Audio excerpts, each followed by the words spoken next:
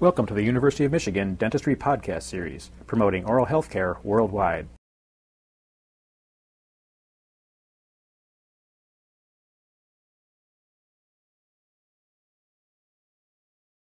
of today's tape is to discuss the location and position of these teeth, to relate to you the occlusion of these teeth, to discuss the morphology of each individual tooth and the terminology, and to give you some identifying characteristics of these teeth.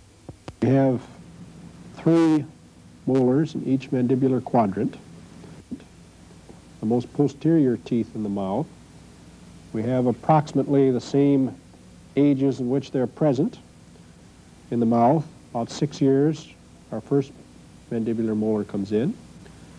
12 years, approximately, our mandibular second will come in. And thirds are very irregular, sometimes not present, sometimes uh, 17, 20, 25, 30, sometimes they're there and they won't come in. So we get a lot of variation on that. This mandibular first premolar oftentimes becomes the statistically the first carious permanent tooth in the mouth. It comes in very early, uh, most posterior in the mouth in children, becomes difficult in the hygiene, and it's also probably one of the most used teeth in the mouth. I call it the most important single chewer in the mouth is the mandibular six-year molar. It's the hardest to replace. It's probably one of the most important teeth we have as far as chewing. It's basically a grinder and does a very heavy bulk of our chewing in this particular area, located and centered around this tooth. We'll spend quite a lot of time talking about this tooth. You'll spend an exceptional amount of time uh, replacing and removing and working on this tooth in uh, clinical dentistry. Our teeth, generally speaking, here have a tendency in the mandible to angle in a bit towards the center of the mouth, and they have a tendency many times to angle forward, particularly as we go posterior. Actually, our entire arch is somewhat on a curve, particularly the posterior teeth. is sometimes referred to as a curve of Spee, where our maxillary molars seem to be getting shorter and our mandibular molars a little longer. We get a little bit of a curve in here. And this is characteristic by the teeth being at an angle. They seem to blend into that curve. We get a rather significant size difference on these teeth. Maybe we can take a look at the root structure over here on this side before we get into the size. These are basically two-rooted teeth, one on the mesial side and one on the distal side. And they haven't got the buccal lingual type roots that we have in the maxillary, just two-rooted. We have the same type of overjet that we're referring to in the anterior teeth. Our mandibular teeth are to the lingual, and our buccal cusps, the cusps on the buccal surface here, are frequently the main chewing cusps, as they occlude into the central sulcus area of our maxillary teeth. And they will occlude into the fossas and into the embrasures and the marginal ridge areas in a normal type of occlusion. The areas in which they do occur, occlude, become rather significantly important. The position of these cusps help identify orthodontic classifications. Probably the most important single one, which many of the orthodontic classifications are based on, is this maxillary mesial buccal cusp. It is said to occlude in the mesial buccal groove, or sometimes it is just called the buccal groove of our first mandibular molar. We'll discuss these grooves and their names here in a bit. This particular relationship is felt to be the usual relationship that is found in uh, most of our normal growth. If we're forward or posterior to that, then we start picking up different terms and classifications, but they seem to key on this relationship right here, which is normal in this instance. Let's go to our individual tooth and start to pick up a little bit of the new terminology. I say new terminology on this. Actually, again, our terminology is basically surface oriented here. and it's not entirely new. If we look at the mandibular first, we'll find that it is a five cusp tooth. And again, basically with just two roots. So it should be very easy to identify in that category as being a mandibular molar. We have to determine, you know, right from left, first from second, and things of this nature. And in the mouth, sometimes when uh, one or more of these are missing, you have to determine them in the mouth just from the occlusal anatomy, from what is left of the uh, crown showing in the mouth. And many times it's uh, filled or um, destroyed by decay, we can get into further problems in identifying which one is which. And this becomes important in the type of treatment we're involved in. We got five cusps, three on the buccal and two on the lingual. Let's look at the buccal lingual, see if we can get that identified here first off. Again, if you remember, these are pulling to the lingual, and our buccal cusps are doing most of our occluding. So our buccal cusps are pulled in closer to the center of the tooth. It doesn't come quite as far into the center of our tooth as our premolars do, but certainly comes in much further than what our maxillary cusps do. Our height of contour is a little bit higher than our maxillary cusps, and we don't develop this flattened surface, real flat up in through here. We've got more of a uh, convexity to our entire buccal surface as it pulls further onto the occlusal. Our height of contour on the lingual, very definitely higher in the mid to occlusal third of the tooth. Actually, about the middle third is where it's, it's felt to generally lie.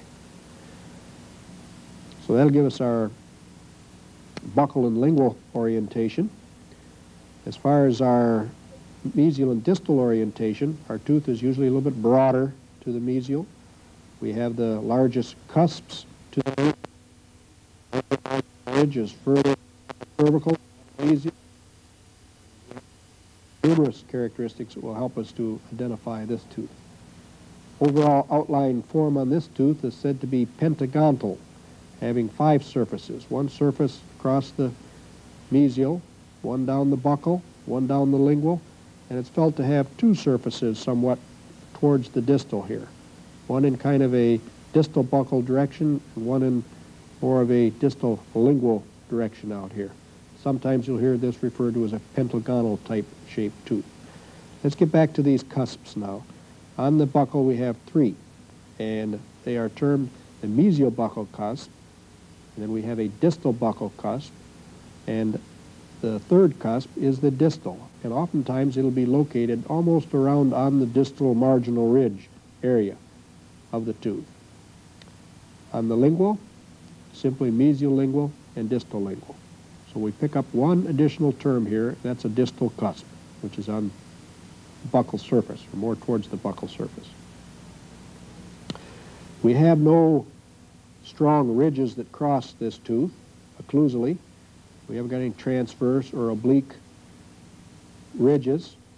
We have a very strong, characteristic, prominent central fossa. And then our central groove both ways, to the mesial fossa, mesial pit area, and also to the distal fossa and distal pit area of the tooth. So this actually runs in both directions here. And then the uh, grooves that would run out of this, and you can term them in whichever direction they're going. If we had one up here, we could, you know, call it the mesial buccal occlusal groove. Actually, the strongest grooves and most prominent ones are the ones that divide the cusps. And the one to the lingual, of course, is very simply the lingual groove. It divides the cusps rather sharply. And actually our cusps on the lingual are sharper than our buccal cusp. They're more conical, come to a stronger point, and they're actually higher, uh, or I should say further from the cervical than what our buccal cusps are. So they're more sharply pointed or conical, and they're actually further from the cervical uh, than what our buccal cusps are.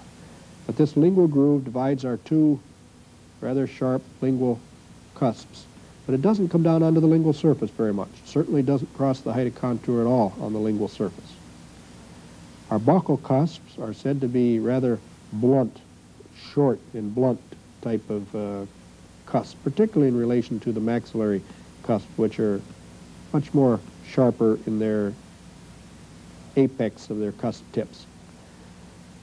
Our largest one is to the mesial, mesial buccal cusp, and then we have a mesial buccal groove coming out. And this does extend down onto the tooth surface rather a significant degree, and sometimes will cross the height of contour.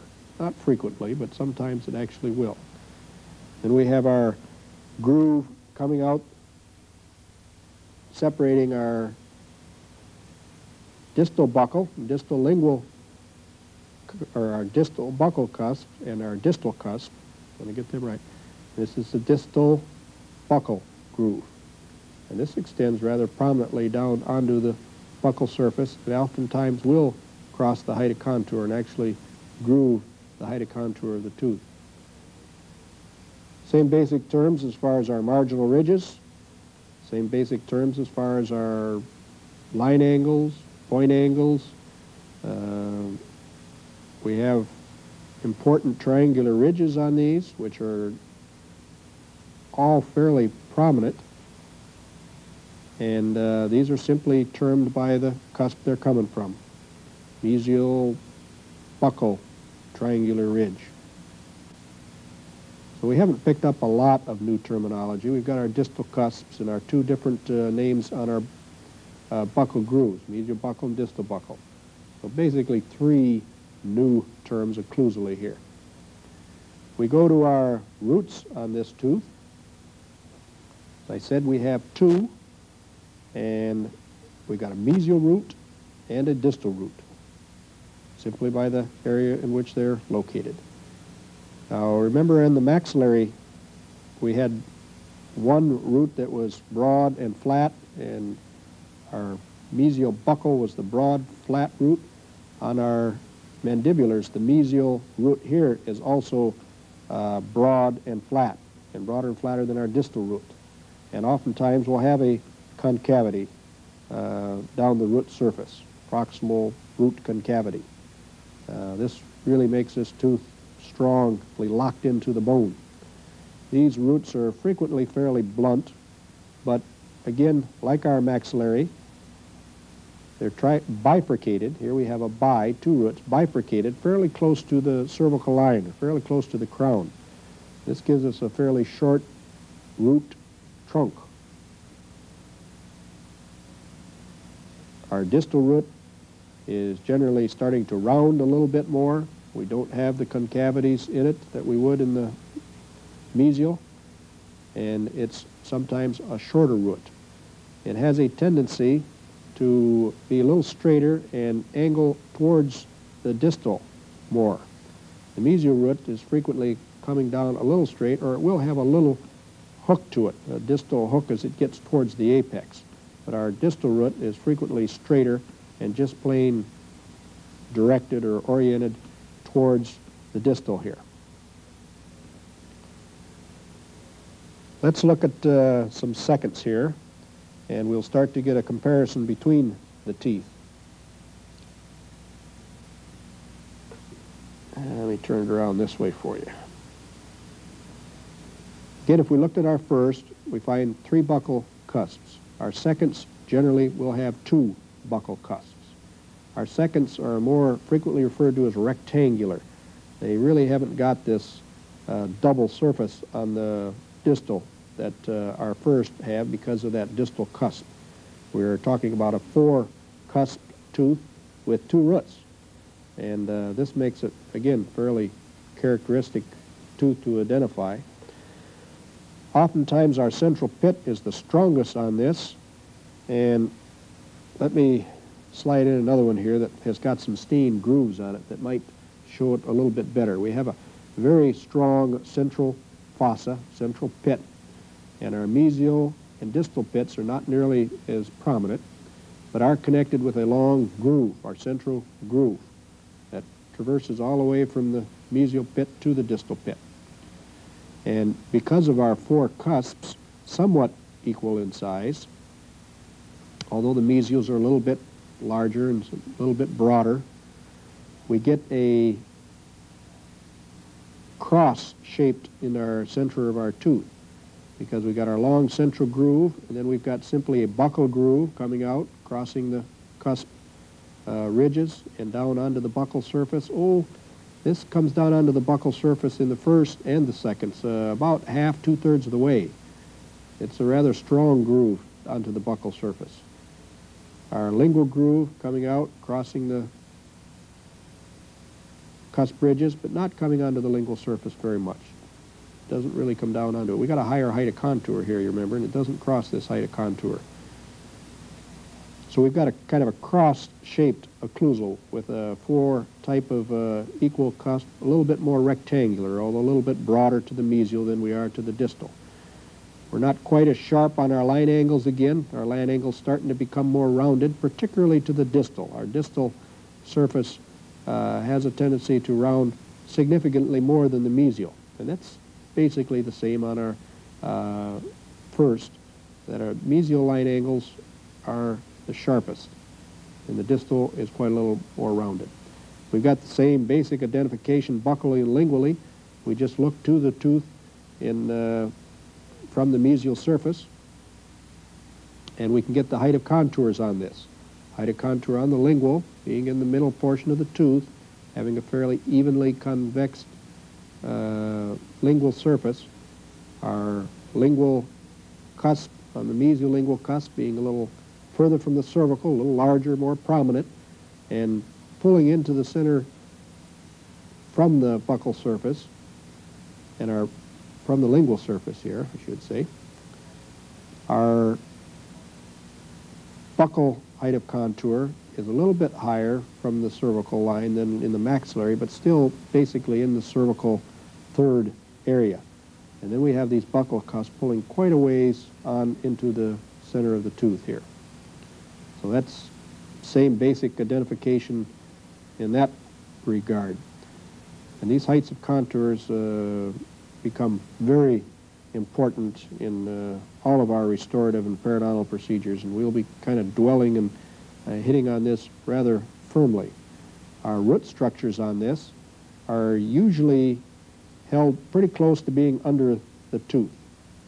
Uh, in fact, is I've got a couple in comparison here that we can show you. We've got two first here, which you can see the bifurcation is fairly high and the roots are spread fairly well. And on our seconds, get this over on the buccal surface there. Seconds, we've got roots that are either fused or directly under the trunk of the, or under the width of the crown. We're not spreading wider than the crown as we do in some of our first. So they're a little straighter, a little closer to being uh, under the crown, not nearly as uh, bifurcated as close to the cervical. We have a much longer root trunk on these teeth.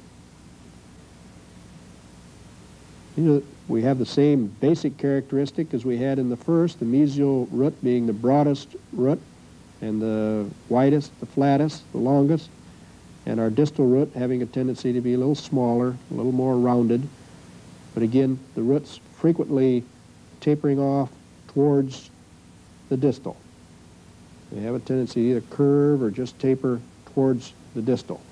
We don't get as strong a concavity in these roots, either on the uh, mesial surface of the mesial root or on the uh, distal surface of the mesial root there. So they're not quite as firmly locked into the jaw as what our first are, this makes big difference on removal and anchoring, restorations, and what have you. If we look to our thirds, and again, we won't spend an awful lot of time on our thirds, we'll note that we have a rather very rounded distal portion, and actually this is probably uh, a little bit large in proportion to our other teeth because the thirds usually become smaller.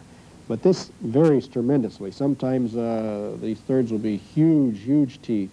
Sometimes they'll have uh, uh, three root, three cusps on the buccal surface. Sometimes they'll have two. Uh, there'll be a, either five or a four cusp tooth. They, they vary tremendously.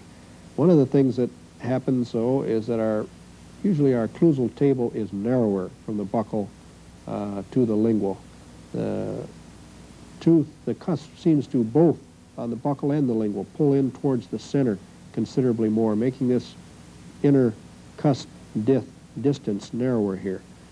But again, our anatomy is more indistinct, and we've got a large percentage of uh, irregular uh, grooves, fissures, and pits, and it's pretty hard to uh, come up with specific terminology for some of these grooves because they're just running in all directions.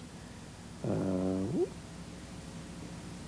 our roots, again, incline towards the distal rather significantly, but they're also quite significantly uh, uh, fused, oftentimes very sharply curved and pointed, and in all directions here. I have a, a variety of seconds and thirds. Usually the first have got characteristics so sharp that uh, it's not too difficult to uh, mix them up.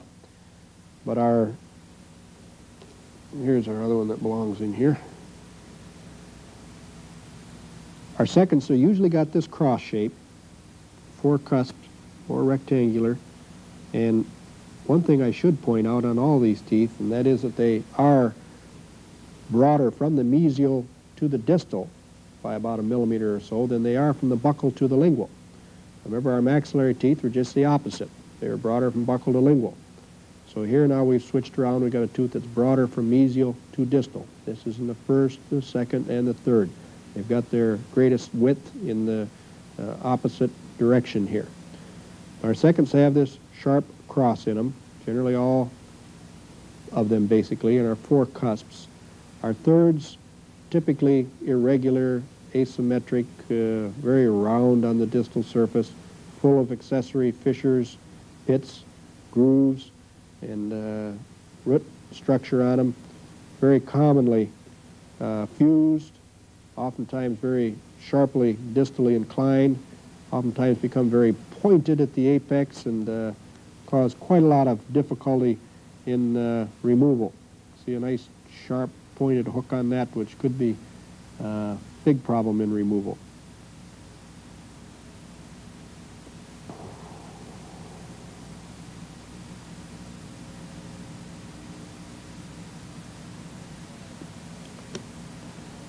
If we look to our mandible, we find the approximate dimensions of these teeth here, and we'll find that uh, the differences in sizes are proportional. As I indicated to you, usually they'll come much larger on our first, smaller, more rounder on our second, our thirds considerably smaller and uh, more rounded yet. In this instance, we had a three cusp uh, on the buccal of our first, but our third only had two. As I said, this third can, third can be anything, really.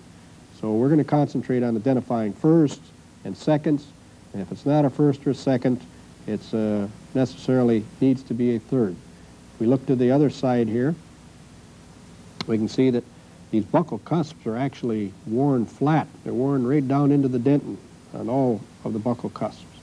Our lingual cusps really haven't worn too much at all.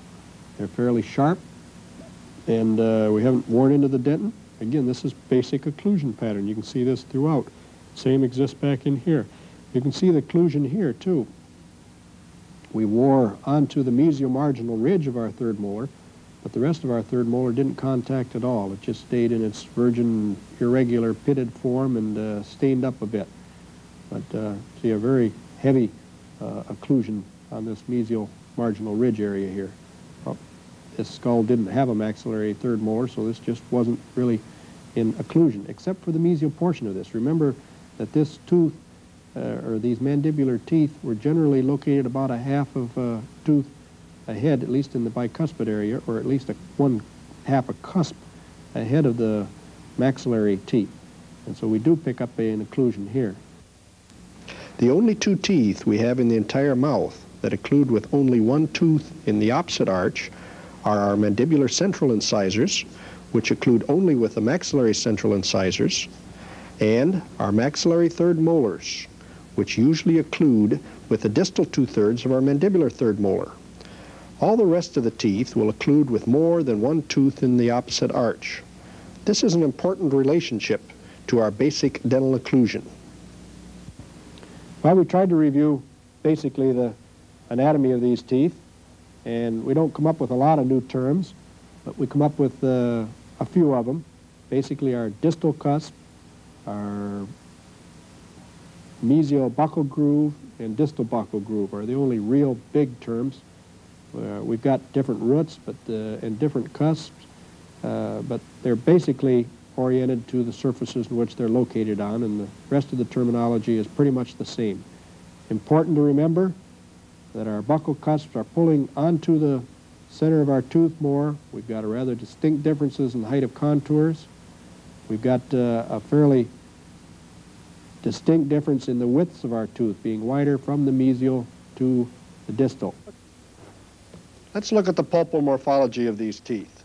Let's review briefly here the external root morphology because we know that this will very specifically relate to our internal pulpal morphology. On the mesial surface, we're involved with a broad, flat root that frequently has a concavity or groove down the center of it. In fact is, we also have a concavity or groove frequently down the, the distal aspect of our mesial root. And when we have these strong concavities, frequently this will be a ribbon-shaped canal on the inside, or in this instance, we actually have two canals. This groove is pinched off the internal into two separate canals in this one single mesial root. On the distal, we're generally involved with a little bit more ovoid root, although it still is broad from the buccal to lingual, not nearly as broad as our mesial root, and it's a little more ovoid, and generally we'll have one larger canal in this root. Let's look at the cross sections of these teeth now. We're looking at a buccal lingual section here. Our buccal is out at this area because we've got our low height of contour close to the cervical. We've got our mesial buccal pulp horn. This is a section through the mesial root. And we've got our mesial lingual pulp horn, not and then we've got our pulp chamber, which is rather well defined in these molars. And we'd have a mesial buccal root canal and a mesial lingual root canal, here exiting in separate foramen. If we go to our mesial-distal section, this is a section through the buccal here. So we've got our mesial buccal pulp horn and also our distal buccal pulp horn. The pulp horn underneath the distal cusp is not showing in this section, but generally speaking, we've got a pulp horn which comes up almost centered under each of the cusps. Well-defined pulp chamber here. And then we've got our mesial buccal root canal, this section through the mesial buccal portion of it here. And then our single canal to the distal, just our distal root canal. Now occasionally this distal may have two. As I indicated to you, there is some concavities in this broad and flattened root. For our purposes and examination purposes and national boards, we're generally going to consider the distal as having one. Although I warn you ahead of time when you get into studying the details of these pulpal anatomy for endodontic purposes, when you start treating these teeth, you're going to be told that there are variations. And some of the variations are that this distal canal will have two. And uh, I think without getting into the details of the variations, you should recognize that uh, uh, there can be variations in these canals. But for our purposes, we'll consider the mesial root as having two canals, and the distal root as having one canal, which is by far the most common. If we look to a buccal lingual section of a second molar, again our buccal surface here where we've got the height of contour closest to the cervical, find that we have our same two pulp horns. And here we got a mesial buccal and mesiolingual pulp horn, well-defined chamber, and our mesiolingual root canal and our mesiobuccal root canal and our mesiolingual root canal. In this instance, these happen to be joining the two canals before they exit through the apical foramen. This is moderately common. It's still considered as having two canals, which have to be checked and sought and treated accordingly when we're treating the internal aspects of these teeth. If we look to our mesial-distal section of our second molar, we find that the anatomy on these are very similar to the first, as much as we have the same basic pulp horns and pulp chamber and our same basic root canals.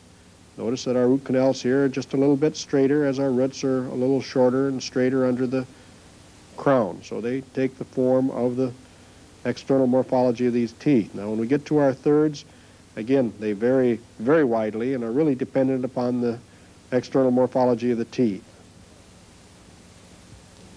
We have a chart in the back of our workbook that deals with the measurements of these teeth.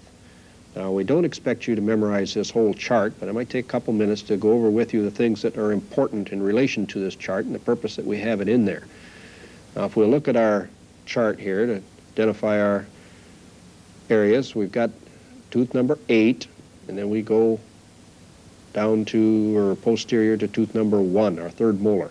So we're going from central to third molar across in this direction. These are our different measurements. Our first one is our incisal cervical, or our occlusal cervical measurement. This is usually referred to as the height of the crown. Important thing to recognize here is that our maxillary central incisor is the got the longest crown from incisal to cervical. And generally speaking, these becomes shorter, and we get shorter crowns from incisal or occlusal cervically as we go posterior till we get to our third molar, which is actually uh, four millimeters shorter than our central incisor was. So generally this crown length becomes shorter as we go posterior. In the mesial-distal width of our maxillary central, this is the widest of our anteriors, and we generally get smaller in our mesial-distal width until we come to our molars, which of course are rather broad. Our maxillary first being the largest again, and then we get smaller as we go to our second and thirds. In our facial lingual width, or this is called labial lingual width in the anterior, or buccal lingual width as we get to the posterior here, we generally start out small and get continuously larger in our labial lingual width as we go posterior. Uh, I think an important thing to keep in relationship here is the relationship of our labial lingual width with our mesial distal width. To begin with, we're wider mesial distally until we get to the cuspid. And the cuspid changes over and we become wider in the facial lingual dimension. And this continues throughout the rest of our posterior teeth. We're wider in our facial lingual dimension on all the rest of our posterior teeth. Now when we're discussing our root length, our root length is the longest in the cuspid and these become smaller as we go to the anterior, and they become progressively smaller, 15, 14, 13, 12, 11, right down the line as we go to our posterior. It's also, I think, of significance to note that our lingual root is generally about a millimeter longer than our buccal roots on these posterior teeth. Lingual root is definitely the longer root on our maxillary posterior teeth. In our total tooth length, this follows pretty much our root length. Our cuspid is certainly the longest, and we get smaller as we go both anterior and posterior progressively. If we look to the measurements on our mandibular teeth, we'll note that our greatest crown length, or distance from the cervical to the incisal, is in our cuspids. In fact is our mandibular cuspid we generally call the uh, long, narrow crown and it has the longest crown from the incisal to the cervical of any permanent tooth in the mouth. And we generally will get shorter as we go both to the anterior and progressively as we go to the posterior. So this is our key tooth in relation to crown height or uh, crown length from the incisal to cervical in our mandibular teeth. As we look to the mesiodistal dimension here, our mandibular teeth are very narrow mesiodistally. This is where we pick up our half cusp difference in our occlusion. So we've got a very narrow uh, mesiodistal dimension in the anteriors, and this gets progressively larger as we go to the posteriors until we come to our first molar, which is the widest tooth mesiodistally, in the entire mouth. That's the number one tooth width-wise in the mouth. And then we get progressively smaller as we go to our second and thirds. We go to our facial lingual width, we'll find that we get wider from the facial distal. That's the opposite as it was in the maxillary. We stay wider all the way till we get to our molar, our first mandibular molar, which becomes wider in the mesial distal dimension than it is in our buccal lingual dimension. And this stays the same, gets gradually smaller. One of the things we might point out here too that is, I think, of significance, in talking about our mesial-distal width, we talked about starting out uh, small in our mesial-distal width, which is much smaller than our anteriors in the maxillary. Our bicuspids are exactly the same as they are in the maxillaries. And then our molars in mesial distal width are significantly wider by about four or four and a half millimeters than our maxillary molars. So although we're smaller here in our incisors, we become significantly wider here, and we end up with our total arch length, mesially distally, being about a millimeter's difference, our mandibular being just about a millimeter shorter totally.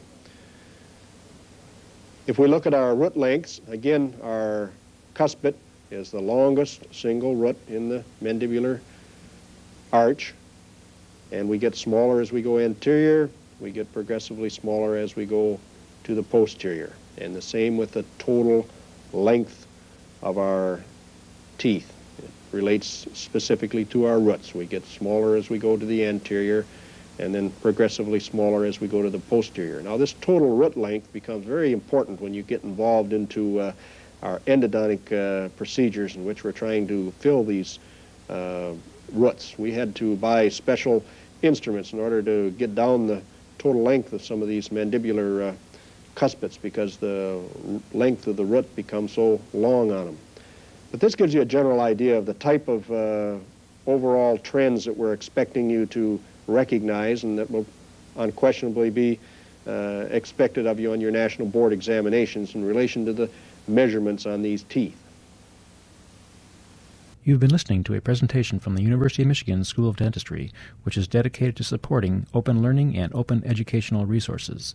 This recording is licensed under the Creative Commons. It may be reused and redistributed for nonprofit use. Please attribute materials to the University of Michigan School of Dentistry and redistribute under this same license.